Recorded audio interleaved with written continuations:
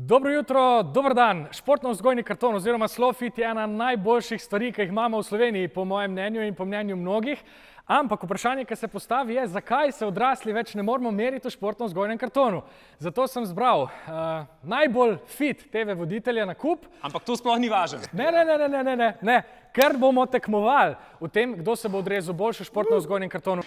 Športno vzgojni karton oziroma Slowfit, kot ga danes imenujemo, je bil v prvi vrsti narejen za učitelje športne vzgoje eh, in seveda otroke, zato da so učitelji lahko spremljali, kako se otroci razvijajo in prilagajali pouk potem njihovim sposobnostim. In seveda ugotavljali, ali ima kak otrok težave in mu lažje pomagali. Z nami je Jože Joco Hud, robežnik Pripravljen. in David Dado Hud, rankar. Tega mi pa ni rekel Benžo od šestega rojstnega dneva. Fanta, še eno dodatno pravilo obstaja. Um, to bo klasičen športno vzgojni karton, meritve delamo tako, kot se zagre, okay. ampak vsak izmed nas ima enega jokerja, pri končnem seštevku, uh, lahko stavita na svojo najboljšo disciplino, za katero mislite, da boste zmagala in če boste v njej zmagala, se vam točke podvojijo. Vna- Vnaprej. Jaz bi na težo. Na težo, okay, okay, okay. Jože stavi, sam a si zihar, Jože. Kdo je? A je ne- jaz sem- Glej- David, no? Da misliš, da je on lažji? A, ne, ne lažji, težji, vse teža gremo, kdo je težji, ne? Ali na kdo je lažji? Ja, na kdo je lažji, sem mislil, da gremo. Jaz sem se, Aha, a ja, ti si se pustil zdaj že dva tedna. jaz se pustim, ja, že... Že pač- dvakrat je skupaj padel Okay, pri torej staviš na težo, da si najlažji. Je, ja. Ja, Zakaj me tako gleda? Okay, dobro. David, na kaj staviš ti? Uh, na šprint, Na šprint 60, 60 metrov. metrov. A veš, da sem jaz tudi razmišljal o šprintu, da bi na to stavil. Ok, ne bom. Jaz bom pa... Lahko, zdaj. Čakaj, a mi lahko tole pobereš? Ja. Nekaj rad. Ja, jaz bom pa stavil na predklon na klopci. O, zato, ker sem pokrčil kolena. Veš kaj, jaz sem malo starejši. Ne zmaga najboljši. ja, ja tekma je, si rekel. Ne. Čeprav športni karton ni tekma, to zdaj pa mal je. No. Malo je tekma. Ja. Kolikor tebe poznam, je vse tekma. Jože. Vse v življenju je tekma. Te- Življenje je tekma. Ne ga poslušati. Okay. V bistvu se je vse skupaj začelo v tej obliki, kot je danes, leta 82, eh, in potem je bilo šestletno obdobje, kjer so testirali stvari, da bo vse delovalo v redu. Potem je pa eh, šolsko leto 86-87 prišlo v vse šole. Um, in leta 89 dejansko so, je bila že celotna slovenska populacija uh, otrok, šoloobveznih otrok vključena, oziroma osnovnošolcev in srednjošolcev. a ne. Um, glede na to, da sem jaz organizator, mislim, da moram začeti ne? s težo. Ja, Okej. Ja. začni, začni. 100. 83 pa pol. 83 nik. Pa pol! Pa pol. Kje jih skrivaš? Ej? Ne, za 83 sem vedel, ampak pa. Pa pol. 200. 88 pa pol. Dober. To Okej. je od kave, sigurno od kave. je Jožetova paradna disciplina. Ni sicer umirjena čisto. ne. Aha, Pa 1, 2, 3, 4, 75 pa pol. čakaj, čakaj, dam to dol, ne? Dam to dol. Še manj. Smo še kar na Je-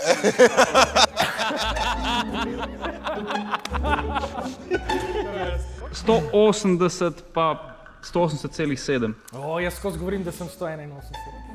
Velik si. Zakaj velja, da je največji, najboljši? Veš? 185 pa pol. Dobro. To zato, ker eh, sem pustil žele na laseh. Očitno deluje. Jože je tudi na toperu. Ja. V redu? 100, 1, 2, 3, 74 pa pol. Zrastel sem. Ja, jaz tudi. Od, Zrastel sem en cent in pa pol. od drugega razreda sem jaz tudi, se mi zdi. Se mi zdi. Kožna guba. Čakaj, sam, ne smeš držati v roki, veš. Ha. Čak, aha, ta kontra od sklice naredi za to, da se malo napne. mišica. A je kaj boljš pol? Ja, ja. Je pa se, a ti st- stopi maščobo. Malo ti nemaš čov. Sedem, samo sedem, no ja. Na uni roki, ki pišeš, a kaj? Ne, deset.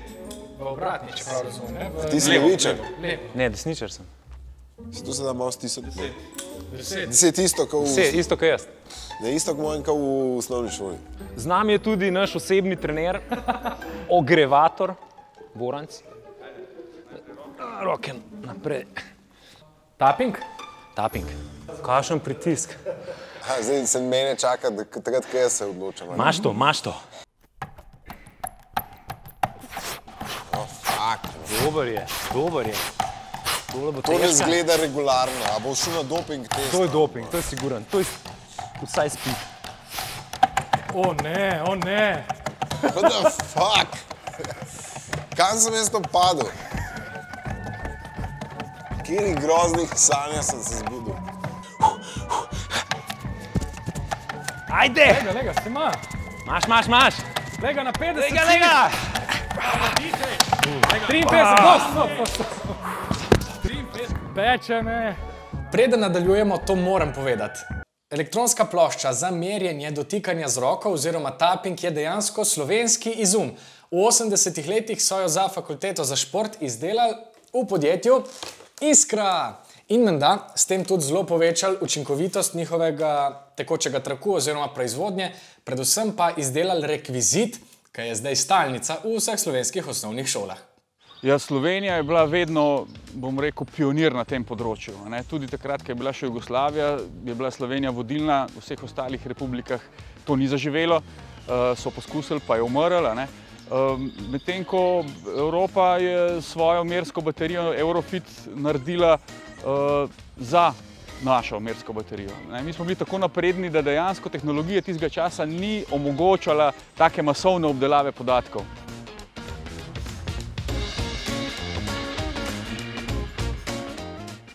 Ok, tekma za tretje mesto, bo očitno napeta ali pa tudi ne. Se odko se naštimaš, pa pol spustiš. Se ne dvigneš od dol gor.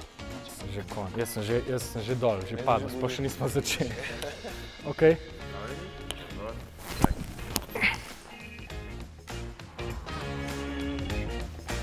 Ampak čutim pa svoje bicepse, wow. Oh, I'm out.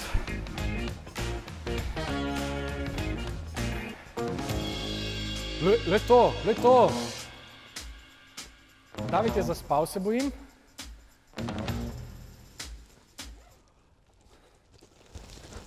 Koliko je? Koliko je ura? 40 sekund.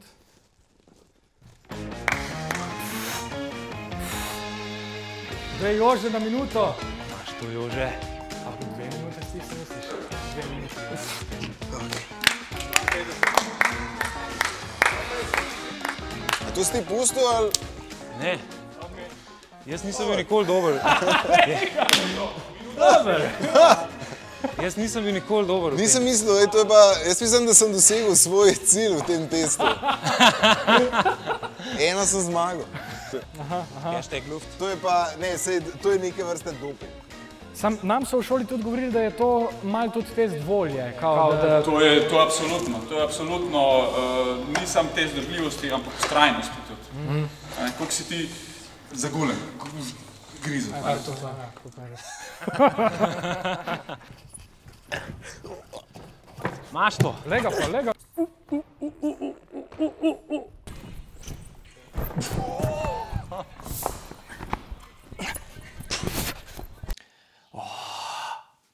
Moral bi staviti na premagovanje uvir nazaj, ne pa na predklon na klopci.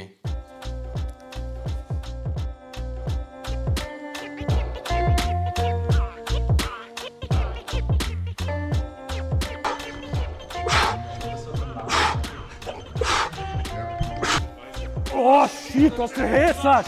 Maš to!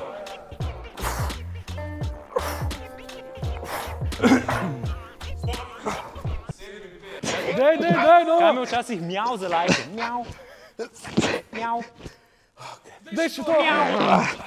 Ja, in tako se je začela Davidova absolutna prevlada. Um, Trebušnjakov je naredil 73 v eni minuti. Uh, Veš, kaj je edino lahko zdrma, ker se gleda skozi kamero noter. Uh, ker je, ja, ker on je iz tega in mora skozi imeti lepo obraz in Še profesor Starc je bil začuden. Eden najboljših rezultatov, kar sem jih jaz videl. wow. A mi zdaj kdo pomaga vstati? Kva, če sam gledati. O teku rajši ne bom govoril. Um, takole, najprej smo tekli na 60 metrov, bom kar prebral rezultate. Jo, je že je 60 metrov pretekel 9,02 sekunde, jaz v 8,13 sekunde, David pa v 7,45 sekunde.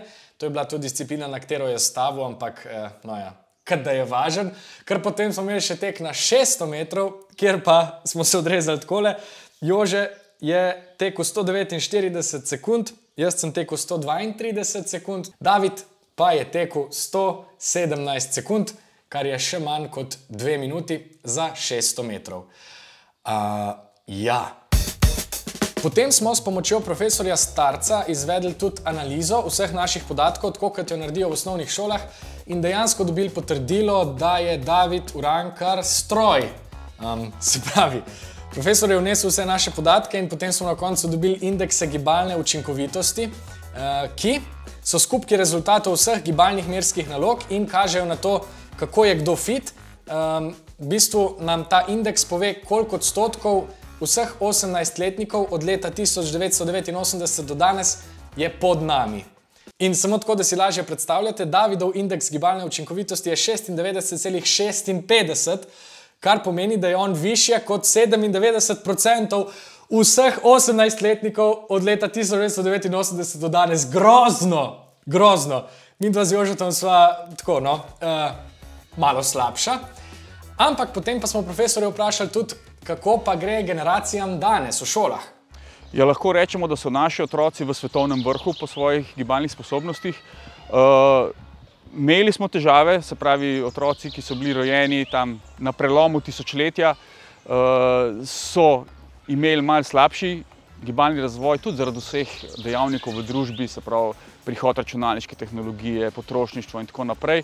Medtem ko te zadnje generacije otrok, tam, od, ki so bili rojeni leta 2008, 2009, 2010 in naprej, so pa izjemno, izjemno visoko gibalno učinkoviti. Na splošno gledano so pa današnja dekleta od prvega razreda osnovne šole do zadnjega letnika srednje šole bistveno bolj gibalno sposobne kot njihove mame. Fantje pa še rahlo zaostajajo za očeti, ampak v parih letih bi jih lahko ujeli in prehiteli.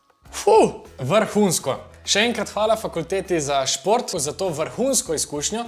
Če sem prav razumel, se bomo lahko od naslednjega leta tudi odrasli vključili v program SlowFit oziroma še enkrat šli čez osebni športno-vzgojni karton, tako kot eh, to delajo šolarji. Seveda bomo lahko tudi primerjali svoje rezultate potem z generacijami otrok, šolarjev, pa tudi z našimi starimi rezultati, kar je po mojem vrhunsko. Uh, če ste pogledali do tukaj, full hvala, napišite spodaj, katera je vaša najljubša disciplina pri športnem vzgojnem kartonu, če jo imate, ste jo imeli, ali pa katere ste se najbolj bali, ali pa se jo bojite še zdaj. Za zaključek, za me je športno vzgojni karton zakon. Tako sem hecno z rokami obstal. Okay. Jej, to je to.